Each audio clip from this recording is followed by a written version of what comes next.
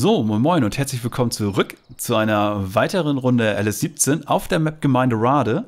Und heute unterstützt mich der Unikus. Hallo Oni, ne? Hallo. Moin moin. Ähm, ich habe auch gleich für dich eine, eine sehr, sehr gute Aufgabe. Und zwar darfst du dir den Steier schnappen, der hier vorne steht. Ähm, das Gewicht einmal durchtauschen gegen das äh, Fassgewicht, weil die, das, das, die eineinhalb, nee, 1,1 Tonnen ist das, glaube ich, hier, ne? Ja, 1,1 Kilogramm sind das nämlich, was das Gewicht hat. Die brauche ich nämlich am MB-Truck, weil ich damit flügen möchte. Mhm. Und dann darfst du mal zum Feld 29 ist es, glaube ich, kommen, ne? Ja, genau, zum Feld 29 bitte. Feld 29 mhm. haben wir da oben. Okay, ja. Genau. Das wird erledigt. Das ist schön. Dann kriegst du nämlich da eine Seemaschine von mir und ja. äh, dann tauschen wir da oben die Gerätschaften durch. Sehr gut. Ja. Weil dann fahre ich nämlich gleich wieder zurück zum Hof und äh, hole mir dann Flug und gehe dann aufs Feld 11, glaube ich, weiter. Und ich habe gerade eben gesehen, dass der Landmaschinenhändler ein neues Mähwerk im Angebot hat. Da muss ich gleich mal reingucken, oh. was, das, was das für ein Mähwerk ist, weil äh, hier auf der in der Gemeinde Rade werden nämlich immer die ganzen äh, die, die Pflege der Wiesen und der, der Grasflächen wird immer an die Landwirte vergeben. Und äh, mit etwas Glück darf ich da auch so ein, zwei Flächen bewirtschaften. Das ist immer ganz nett. Das ist echt super. Ja, ne? Hört sich gut an.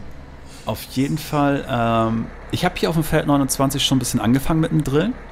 Äh, da wirst du das dann erkennen, dass da, äh, wo da die Kanten sind. Wobei ich warte mal ganz kurz, bis du hier bist. Ich sehe schon gerade, du drehst gerade ein paar Runden durchs Dorf, ne? Nee, ich fahre gerade äh, erstmal vom Hof. so, jetzt muss ich gerade überlegen oder gucken, wo ich am besten herfahre. Weil ich erkenne die Straßen immer so ein bisschen schlecht.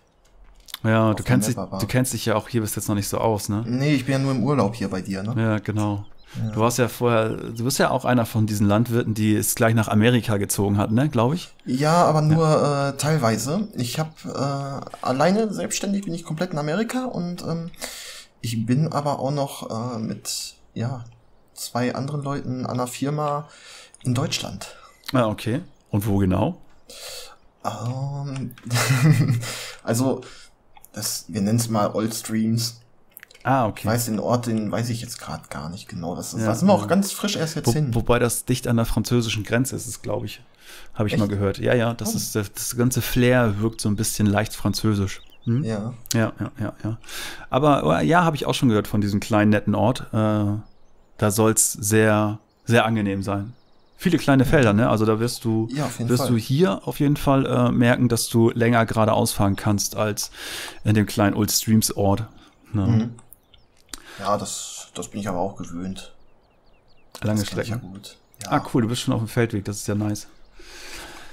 Gut, achso, ich wollte mal gucken im Shop, was das neue Mähwerk sagt. Äh, Mähwerk, wie, wie, wie, wie, wie ist das? Oh, das kostet tatsächlich nur 2800. Das ist ja geil. Oh, was ich gerade sehe. Äh, soll ich mal eben noch tanken fahren? Ich habe nur noch 37 Liter. Oder reicht das wohl? Ah, das reicht erstmal. Okay. Ist es schon rot?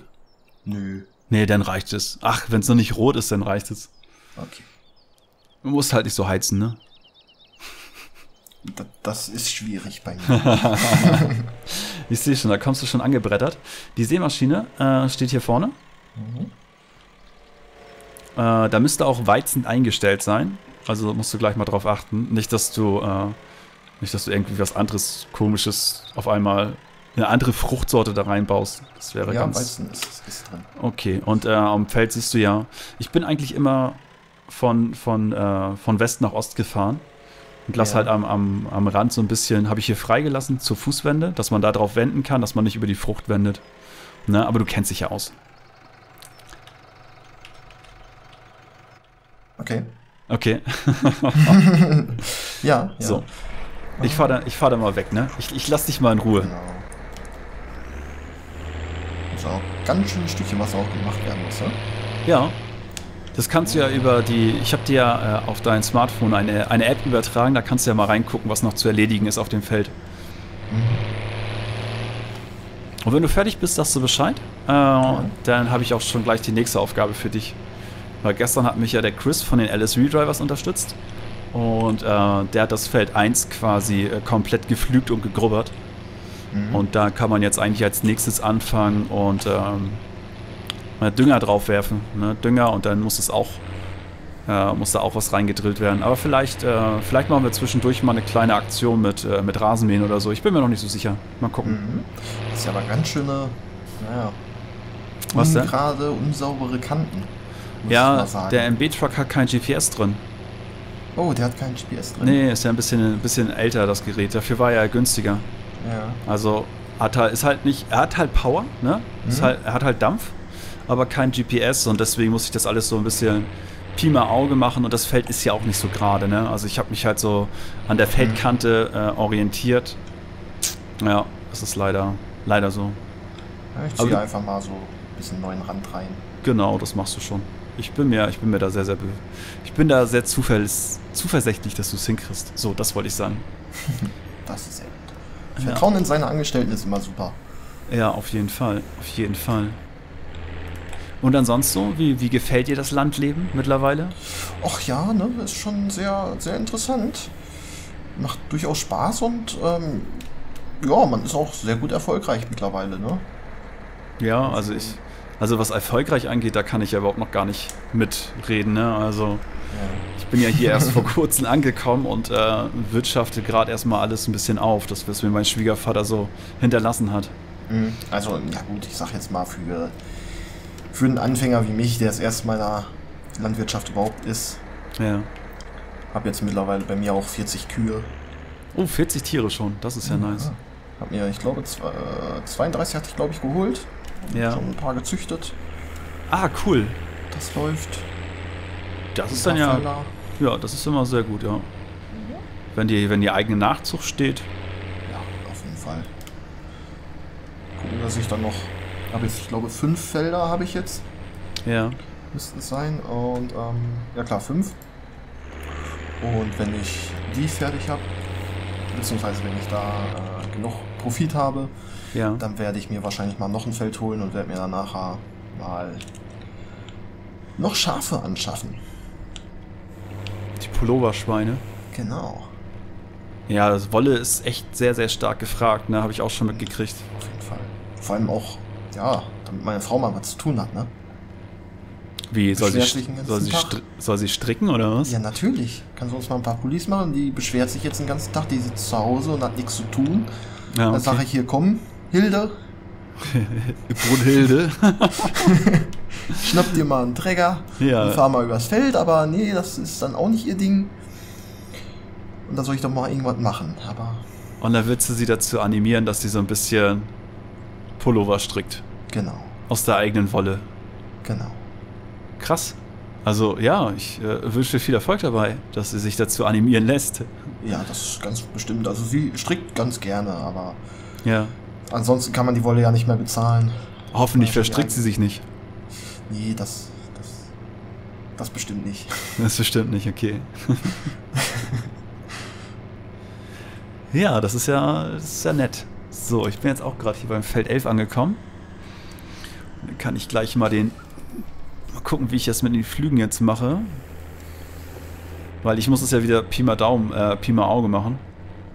Ich kann das ja nicht so schön wie du. Du hast ja so, so, einen- so einen neueren Traktor da, der auch schon so ein bisschen mit GPS ausgerüstet ist. Ja, wobei ich das gerade gar nicht anhabe. Hast du gerade gar nicht an. Und machst Nein. trotzdem eine gerade Kante. Das ist ja Ja, eine, cool. re eine relativ gerade. Also ich ziehe jetzt erstmal, wo es mich hier ein bisschen gestört hat, da ziehe ich erstmal eine neue Kante, dass das alles ein bisschen mehr gerade wird.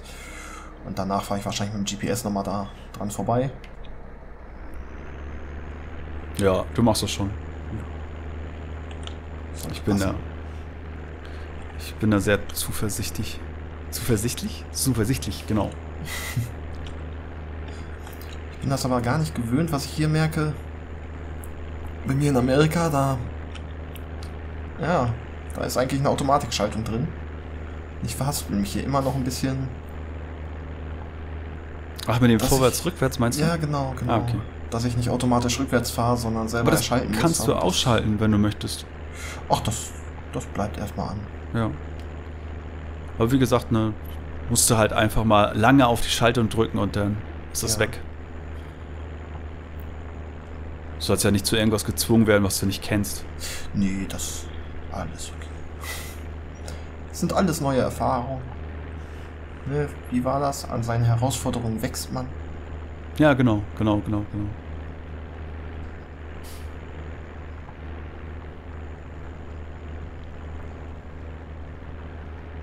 Ja, und sonst so?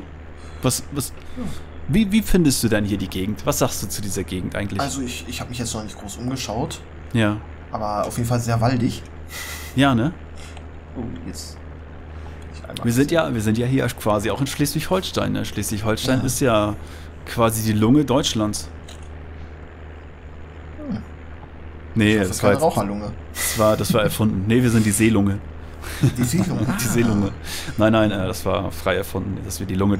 Aber ich habe schon äh, von vielen gehört, dass sie irgendwie immer denken, wenn sie so an Schleswig-Holstein denken, dass sie das, dass das alles so grün ist und so. Mhm. Weil da oben kann ja keiner wohnen. Ne? Deswegen muss da ja überall Wald sein. Ja, klar. Natürlich. Wer wohnt schon in Schleswig-Holstein? Ja, also Ne? Das ist ganz, ganz merkwürdig. ja, wir, wir haben ja auch nur äh, Wald und Berge und das war's eigentlich. Bei euch da in Amerika. Ja, ja. Nee, in, in, in Deutschland. Ach so, in Deutschland. Also in Amerika, da ist eigentlich alles flach. Beziehungsweise, da wird ja sehr, sehr stark industrialisiert und alles sofort abgeholzt, oder? Sobald, da, sowieso so, sobald da ein Baum länger ist als ein Meter, da wird er doch gleich weggemacht, oder nicht? Ja, ja, zumindest von einem Kollegen von mir, der war jetzt mal da. Ja. Auch ein bisschen Urlaub bei mir gemacht und äh, ja, der hat sich direkt schon hier so ein Fichtenmoped geschnappt, ne? Ja, ja, klar. Und hat direkt erstmal ein bisschen Kahlschlag veranstaltet. Hat alles äh, weggemäht, ja. Ja, alles was, alles, was er in die Finger gekriegt hat, war weg. Das ist. Aber naja. So ist das halt, ne? Wächst ja alles wieder nach. Du meinst äh, baumtechnisch? Ja. Also irgendwann vielleicht mal, wenn ich neue Setzlinge setze, aber. Ich wollte es gerade sagen, ja. Wenn du dann irgendwann mal selber äh, Hand anlegst und da dafür sorgst, dass da neue Bäume gepflanzt werden, dann ja. Wenn nicht, dann. Oh, ich sehe gerade, wie schlecht ich hier eigentlich flüge. Also nicht so, nicht so schief und krumm. Also doch, natürlich wieder schief und krumm, so wie gestern eigentlich auch. Aber ich lasse auch einen zu, zu dollen Spalt frei gerade. Hm. Muss mal ein kleines Stück zurücksetzen, damit ich da alles mitkriege, was ich so haben möchte. So. Ja. Nicht, dass ich da alles doppelt und dreifach machen muss hier. Das wäre ja wieder. Ja, kontra, ja, kontraproduktiv halt, ne? Ja, auf jeden Fall. Aber, naja, ich, ich krieg das hin, ich krieg das hin. Was habt ihr denn so an, an, an, äh, habt ihr euch schon, es gibt ja neuerdings, äh, gibt es ja diese Pappeln. Ich habe ja von, von vielen Landwirten gehört, dass die in den Bereich Pappeln eingestiegen sind. Ja. Ist das, äh, habt ihr da auch schon äh, eure Erfahrungen mitgemacht? Noch gar nicht. Also gar ich habe das Einzige, was ich jetzt gemacht habe, was für mich ganz anders war, waren Kartoffeln. Ah, okay. Aber das ist auch sehr, ich sag mal, mühsam. Weil die Erntemaschine, naja, die arbeitet natürlich nicht viel ab. Da hole ich mir meistens hier so ein, eine kleine Aushilfe mal eben. Dann Ja. sagt hier, fahr mal übers Feld, ich mache in der Zeit was anderes. Ja, fahr mal für 5,50 Euro die Stunde darüber, ne? Und wehe, Ja, du bist genau. nicht in einer halben Stunde fertig. Genau, genau. Äh, ja, ja, kenne ich, kenne ich. Weil da, ja, da wäre ich den ganzen Tag beschäftigt und dann kann ich, schaffe ich nichts anderes mehr. Das kannst du ja auch vergessen auf Dauer. Ja, ja, ja. Jetzt, ja. wenn der Hof wächst, dann. Ja, irgendjemand muss ja die Kühe befruchten, ne? Damit das da weitergeht. Genau. Ja. genau. Da schicke ich ja ab und zu mal Hilde rüber. Über die Kühe? Oh Gott. Ja. Oder zum Befruchten. Nee, über die Kühe. Die, die reinigt die Kühe immer. Ach so, ach, das meinst du. Ah, das habe ich jetzt schon wieder. Ich, ja, das frage ich mich auch. Aber Ich glaube, ich will es auch gar nicht wirklich. Naja, ne? Sprich dich ruhig aus. Wir sind hier unter uns. Da ist alles gut. Nö. Äh, äh, äh, Alles, alles, alles, alles gut. Ich, ich möchte ja auch nicht zu sehr ins Detail gehen. Das, Ach so. das könnte dich nur verstören. Ja, das äh, macht es. Also meistens, wenn wir uns unterhalten, bin ich danach sehr verstört. Muss man meine Frau fragen. Ja, Ja, das glaube ich. das ist. Äh, aber von dem her, alles gut. Da liegst du abends im Bett so mit dem Teddy im Arm. Ja, genau. Weint.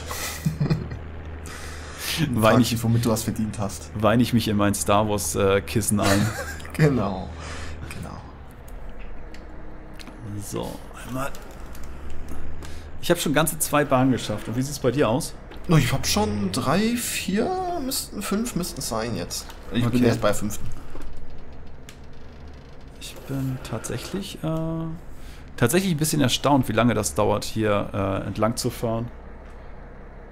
Ja, das glaube ich. Ich meine, ich gehe hier auch teilweise über schon gesätes, fahre ich nochmal, oder muss ich nochmal drüber fahren, um das hier Ja, erstmal gerade zu kriegen. Weil ich das so schlecht gemacht habe, ne? Wolltest du sagen? Ja, natürlich. Nee. Nein, du hast ja dein Bestes getan, aber ohne GPS ist es halt Ich glaube, auch ich, hätte- schwierig. ich, glaub, ich hätte das Feld da oben lieber weitermachen sollen und dich hier mit, mit dem äh, Sechsscharflug und dem kleinen Trecker rüber eiern lassen sollen. da, da hättest du dich, äh, da hättest dich richtig gefreut mit, ich glaube, Ja, so das 5, 5 km/h. Ja, ich glaube, mehr hätte er nicht geschafft. Ja, ja, ja, das. Flügen ist sowieso meine Lieblingsaufgabe. Ist es tatsächlich? Nein. Oh, das hätte, ich, das hätte ich vorher wissen müssen. Schade. Wobei Flügen, ja, es geht schon eigentlich. Ja. Es ist besser als Kartoffeln. Also besser als Kartoffeln ernten. Das, was ich immer so ein bisschen schade finde, ist, dass wenn man ähm, ja sowas wie, wie Flügen macht, dass man danach kein Geld kriegt. Beim Ernten ist es immer schön, da kriegst du dann Mhm. danach ja Geld. Ne? Du machst es ja, um dann direkt die Frucht zu verkaufen. Beim Flügen musst du halt nach, danach noch so viele Schritte äh, anpacken, um dann letztendlich erstmal an dein Geld ranzukommen. Ja. Aber darüber können wir uns gerne morgen weiter unterhalten, denn wir sind für heute mit der Folge wieder fertig. Und äh, ich bedanke mich bei euch ganz recht herzlich, dass ihr eingeschaltet habt. Wenn es euch gefallen hat, würde ich mich sehr über einen Daumen nach oben freuen. Und wenn ihr möchtet, sehen wir uns morgen zu einer weiteren Folge wieder. Bis dahin, bye bye. Tschüss.